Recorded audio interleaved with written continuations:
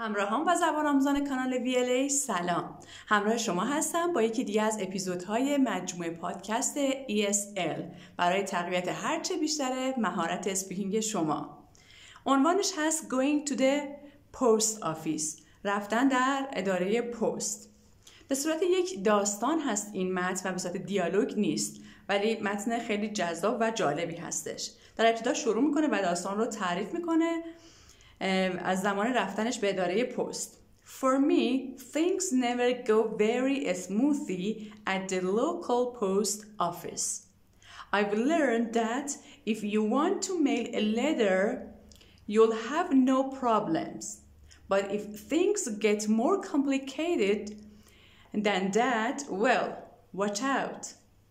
میگه برای من هیچ وقت کارا خیلی خوب و راحت پیش نمیره تو اداره پست پس smoothly happen without any problem که با فعل go کالکیتش کرده things never go very smoothly at the local post office تو اداره پست محلمون هیچ وقت کارا راحت و خوب و بدون دردسر پیش نمیره without any problem smoothly میشه که با گفتم go میشه go smoothly من دیگه فهمیدم I've learned.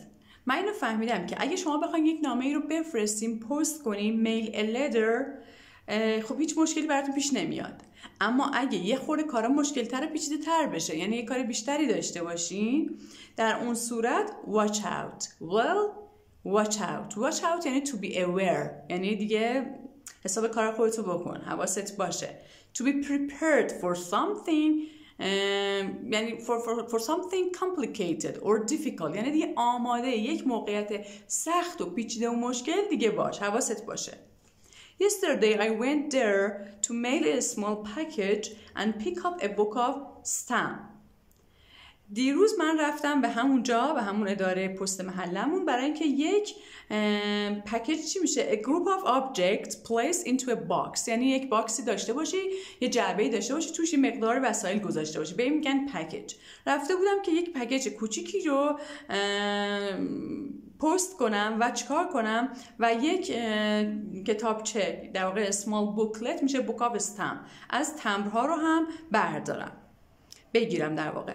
I wait my turn in line and uh, when I get up to the window the clerk says what can I do for you من I wait in my turn in line in line میشه توی صف wait my turn یعنی منتظر شدم تا نوبتم بشه توی صف و وقتی که get up to the window وقتی که به اون پنجره که در واقع اون کارمند پشتش هستش به اونجا رسیدم get up to the window منشی چی گفت کارمند چی گفت گفت چی کار میتونم برات بکنم what can I do for you well I say I need a book no make that a roll of stamps من گفتم که من یک کتاب از یک کتابچه تمبر نیاز دارم که در واقع میگه I need a book.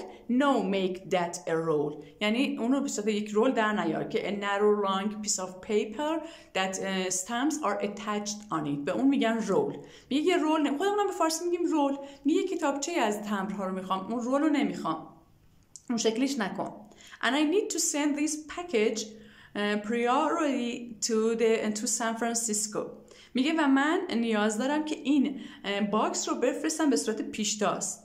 Priority یعنی priority priority. دوتاش درسته. چه priority که حالت priority بریتیش هستش و priority American هستش.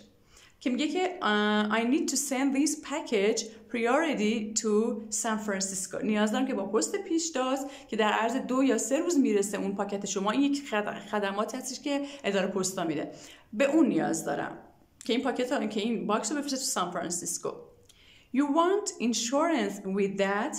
He asked me آیا بیمهش هم می‌خوای بکنی؟ You need insurance with that با این باکسی که می‌خوای بفرستی آیا بیمه هم می‌خوای بشه؟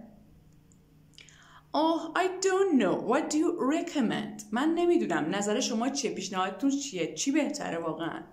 Well, he says, you can send it priority with tracking if you want to see when it gets there. You can send it insured if the content are valuable or you can do both چی بهش پیشنهاد میده میگه که میتونی اون رو با پست پیشتاز بفرستی همون که گفتیم priority with tracking. Tracking چیه? یک خدمتی هستش یک خدماتی هستش که اداره پست برای شما انجام میده برای اینکه شما رو update کنه. از زمانهایی که در هر جایی که در واقع این پاکت شما این box شما قرار داره و چه زمانی داره حرکت می‌کنه به سمت مقصد. الان کجاست؟ کی حرکت می‌کنه کی به دستتون می‌رسه دائم شما رو update می‌کنه. به این میگن tracking. این یکی از خدمات هستش. میگه که می‌تونید با پست پیشتاز بفرستیدش همراه با tracking اگه می‌خواید بدونید که کجا هستش الان to see when it gets there و چه زمانی می‌رسه به مقصدش. و you can send it insured. You can send it insured. می‌تونید همراه با بیمه بفرستیدش یعنی بیمهش بکنید. در چه صورت؟ If the contents are valuable. اگه که محتویات این box شما چیزای قیمتی و با ارزش هستن. Or you can do both. یا می‌تونید از هر دوش استفاده کنید یعنی send it insured هم بیمش کنید and you can send it priority with tracking. و می‌تونید با اون برنامه update مکانی مکانیابی و همچنین با پست پیشتاز بفرستید. Okay I'll take the insurance. که من طرف گفته که باشه من بیمه می‌کنم. I'll take the insurance. من insurance بیمه رو انتخاب می‌کنم. Then step aside to fill out the insurance form, he says, and bring it back up to me when you're finished. پس وقتی گفتم که من اینشورنس رو انتخاب میکنم میگه که پس کنار بیس move away که اینجا میگه چی step aside یعنی شما به جای move away to move to the side بگید چی step aside برو کنار چیکار کن fill out the insurance form فرم بیمه رو پر کن و bring it back up to me bring it back up to me برش گردون پیش من when you're finished when you're finished وقتی که تمومش کردی With that, I was waved aside to fill out my form. With that یعنی وقتی که فرم بیمه رو دیگه داشتم. I was waved aside. Waved to be.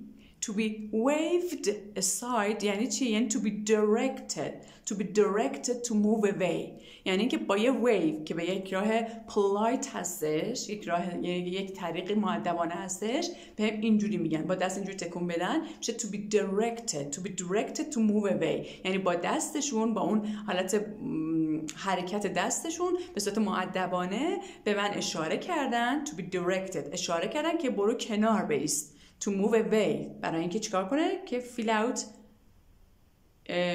his or her form پر کنه فرم بیمه شو next in line the clerk calls نفر بعدی توی صف منشی اینو گفت when I finished when I finish filling out the form I wait patiently until the gentleman before being awaited on in front of me is finished And then step back up to the window.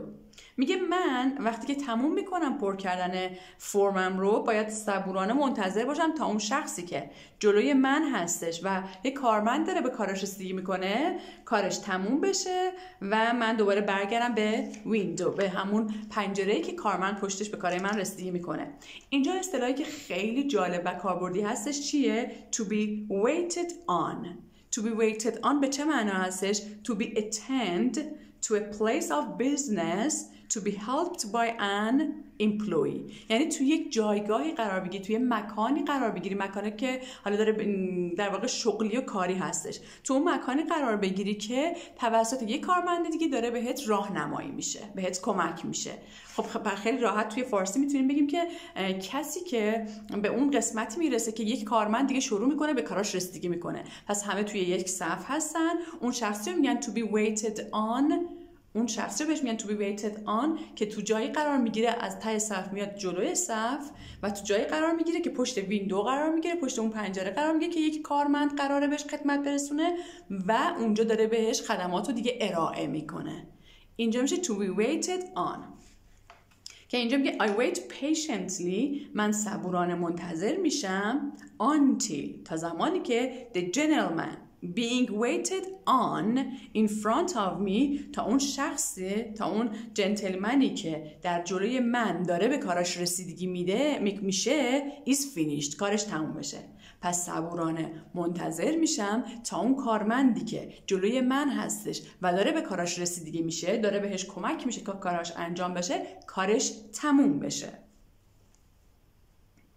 And then step back up to the window. Step می‌دونی که همون to approach to move towards. یعنی به سمت جلو حرکت کردم. میگه دوباره برمیگردم. وقتی که کارش تموم شد من دوباره برمیگردم پشت همون پنجره که قرار بود بهش رسیدگی بشه و بار اول رفت. ولی بخاطر که نظرش عوض شد و خواست فرم بیمه رو پر کنه دوباره رفت کنار. Step aside. Sorry the clerk says. I'm on break now. من الان توی زمان بریک هم هستم. استراحت هم هستم پس بریک I'm on break now یعنی taking short rest. Be on break. Be on break. To be on break. یعنی چی؟ یعنی taking some rest or short rest. من اون وقت در واقع استراحت هم هست. She can help you at the next window. اون کسی که توی پنجره بغلی هستش می‌تونه بهتون کمک کنه. به خاطر همین بود دیگه که می‌گفت من هیچ وقت هیچ وقت کارم چی نمیشه؟ Go very smoothly یعنی کارم خوب پیش نمیره. چون در دقیقا زمانی که کارش انجام داد و رسید پشت پنجره اونجا بهش گفتن که من الان I'm on break. من الان زمان استراحتمه. که خودش هم میگه در خط آخر. میگه maybe it would be quicker just to drive my package to San Francisco. شاید بهترین بود که خودم و شاید سریعتر بود. اگه خودم اصلا پاکت و بسته خودم رو میبردم سان فرانسیسکو. تا این همه پروسه رو پشت سر بگذرونم به پایان یکی دیگه از اپیزودهای خیلی جالب و کاربردی رسیدیم. ممنون که همراه من بودید. خوشحالم که حتما برام کامنت می‌ذارید و ویدیو رو لایک می‌کنید. تا ویدیو و اپیزود بعدی خدا نگهدارتون.